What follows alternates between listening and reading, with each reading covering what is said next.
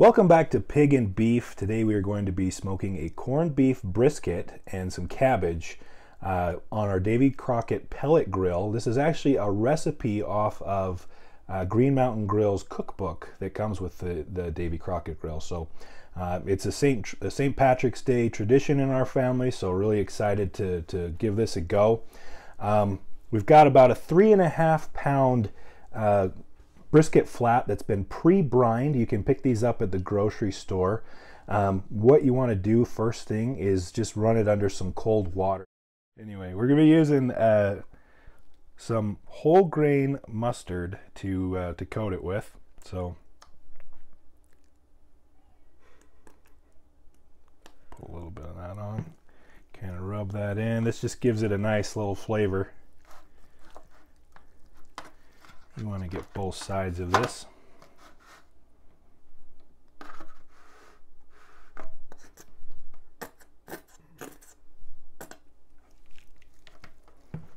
And get the edges too.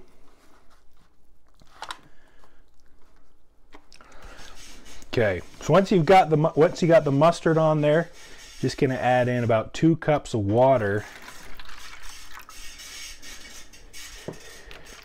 and this is going to help braise the the brisket as well as draw out some more of the excess salt that's in there. Uh, once you've done this, uh, it's ready to be put on the smoker, so we're going to go out and put it and throw it on. Okay, so we got this thrown on. Uh, we're setting it at 220 degrees. We're going to smoke it at this for about an hour. Uh, after that, what we're going to do is we're going to come in, we're going to put some vegetables in, we're going to throw in some some cabbage and some red potatoes, uh, and then we're going to cover it in some foil. Uh, so this will be this this part takes about an hour. So it's been about an hour. We've gone ahead and we put the meat probe in. Uh, what we've got in here is we've got some red potatoes that have been diced up, seasoned with garlic, salt, and uh, coarse black pepper. We've quartered a cabbage. I'm going to drizzle this with a, uh, a mixture of butter and garlic salt and the mustard that we put on the on the brisket.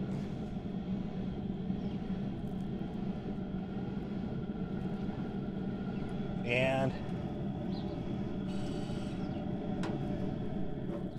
probably going to be another uh, couple hours or so. The target internal temperature that you're looking for is about 200 degrees in the brisket. We are going to wrap it in foil at this point uh, just to cover it and help it braise a little bit better. Uh, like I said, it'll be about uh, about two two more hours, but you're really looking for that internal temperature around 200 degrees.